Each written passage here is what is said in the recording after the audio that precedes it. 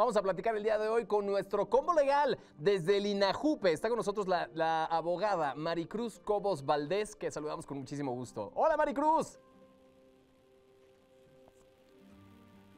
No te escuchamos. Ahí la va a mutear, fíjate.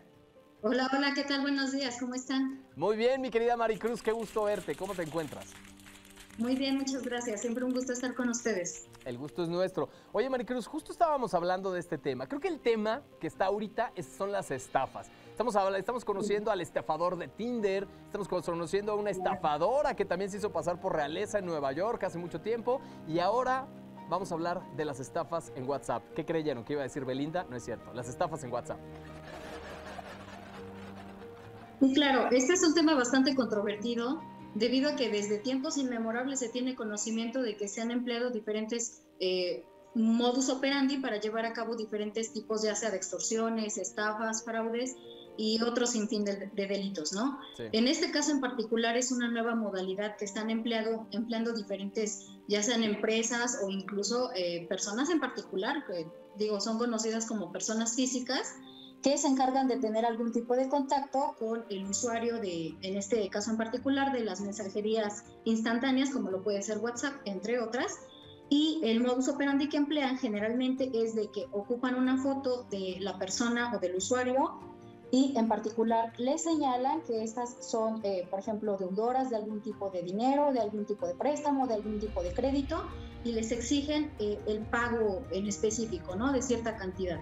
Y en dado caso les dicen, si tú no haces el pago correspondiente, vamos a difundir tu información, tus datos personales, además de tu fotografía. ¿En qué repercute esto? En que posteriormente, pues, eh, digamos, lo que se tiene como sido como que te queman con la sociedad, ¿no? Te dan a conocer como una persona deudora, como persona a veces estafadora o defraudadora, y eso viene a afectar eh, muchos bienes de por medio de la, de la persona, ya sea que afecta aparte de tu integridad económica, como lo que puede ser un de- detrimento en, tu, en tus ingresos, en tus ahorros y en demás cuestiones, incluso también en ti como persona, ¿no? En tu físico, porque te están afectando tu moral.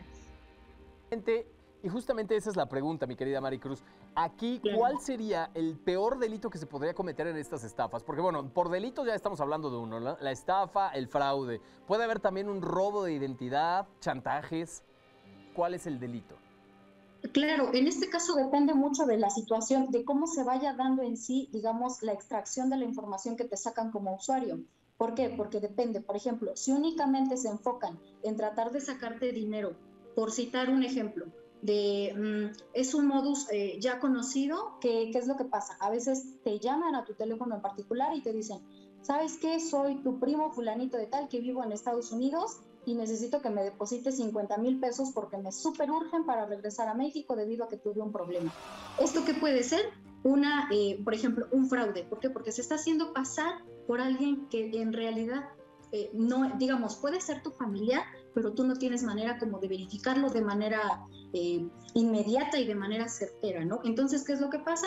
Tú depositas el dinero porque estás tratando de ayudar a tu familiar. Sin embargo, pues en realidad es otra persona. Esto puede ser, por ejemplo, un fraude. ¿Por qué? Porque se están valiendo del error en el que te encuentras y además digo, como familia muchas veces te dejas guiar por la emoción del momento y por querer ayudar al familiar. ¿Cuál sería, por ejemplo, otro delito? En el caso en particular que ocupábamos respecto de WhatsApp es el delito de extorsión. ¿Por qué? Porque generalmente te amenazan para obtener algún tipo de beneficio.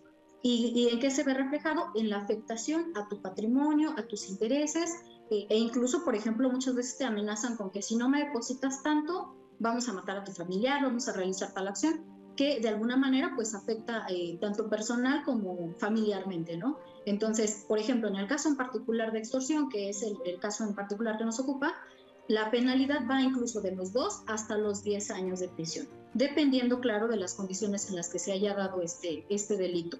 O también, en dado caso, simplemente el delito de amenazas. Y ese, pues obviamente ya cambia igual la, la penalidad eh, de prisión, dependiendo de cómo se haya dado el, el delito.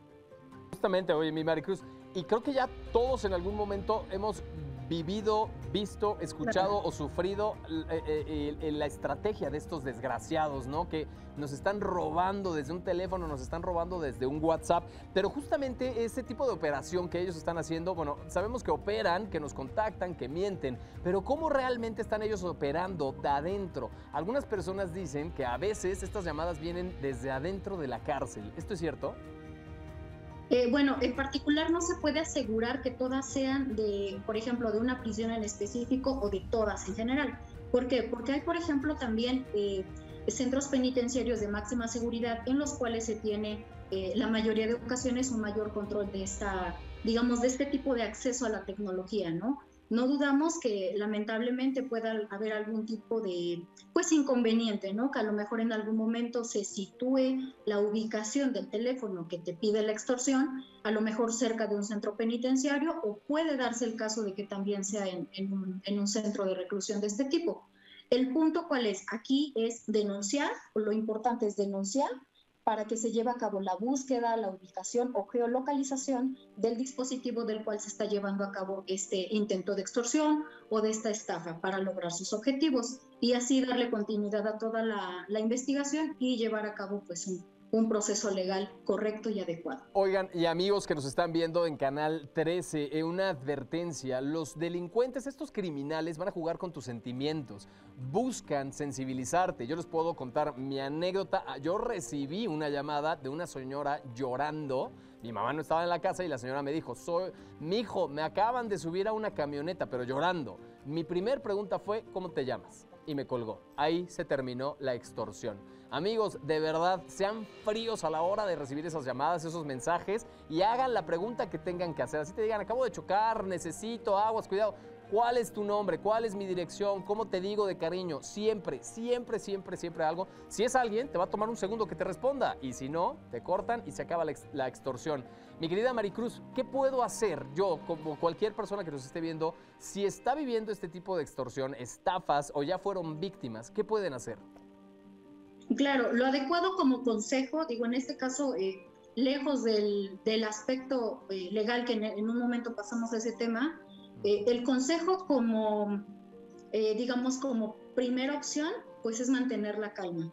Tratar de estar tranquilos al momento de recibir esta llamada, este mensaje, tratar de corroborar, como lo acaban de mencionar, verificando todo, toda aquella señal que nos ayude a reconocer a la persona que supuestamente está tratando de tener algún, algún tipo de beneficio de nosotros. Como lo acaban de mencionar, ¿no? Si, por ejemplo, se trata de algún familiar, verificar nombres, verificar direcciones, parentesco, como lo acaban igual de, decir, a lo mejor verificar por cuestión de, como te digo, de cariño, em, señas en particular que solamente como familia se tiene conocimiento para poder eh, pues descartar esta posibilidad, ¿no? Uno nunca puede dudar de que esta situación se pueda llegar a dar, sin embargo es muy necesario primero mantener la calma para poder tener un mejor manejo de la situación.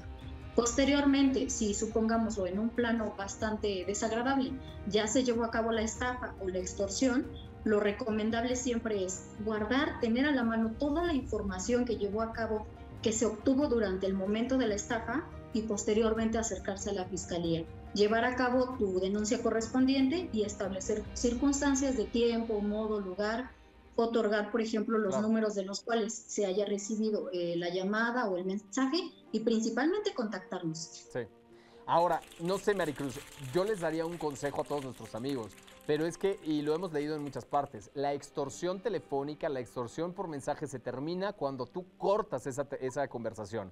Ahí se termina por completo. Pero, como se los hemos dicho, amigos, van a jugar con tu mente. Son muy inteligentes. Te van a decir que van a ir a matar a toda tu familia si, si cuelgas el teléfono.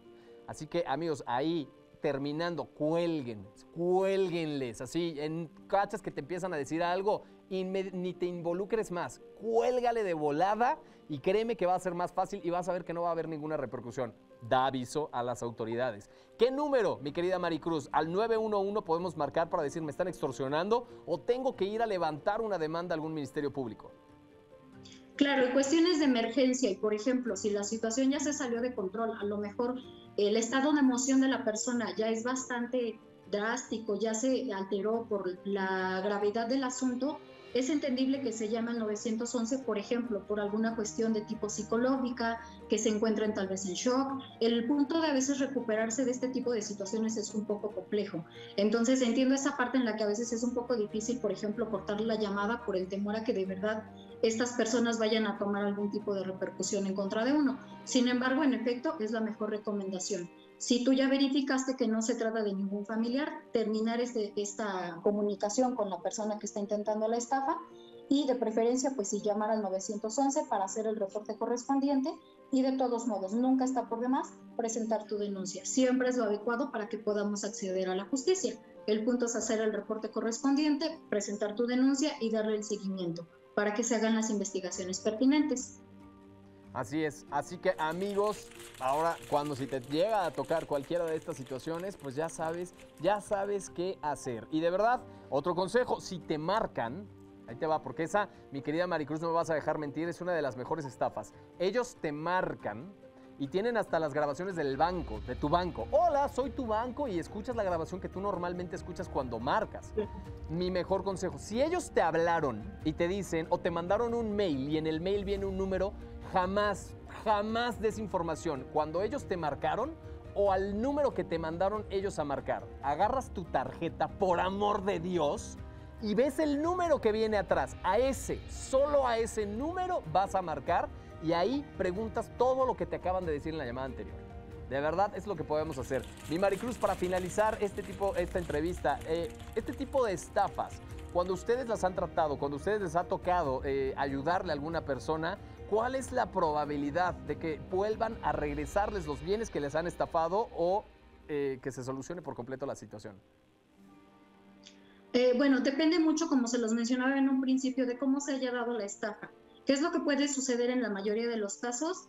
Que llaman, por ejemplo, de números o de teléfonos desechables, ¿no? Que sirven solamente para un par de veces y posteriormente se deshacen de ellos. Sin embargo, la probabilidad, una vez que tienen eh, conocimiento de este hecho, eh, puede ser mayor siempre y cuando desde un principio, por ejemplo, contraten a un abogado que de verdad se enfoque en ese asunto y principalmente, como, en el, como es el caso de INAJUPE, pues que seamos especialistas en el tema. ¿Por qué?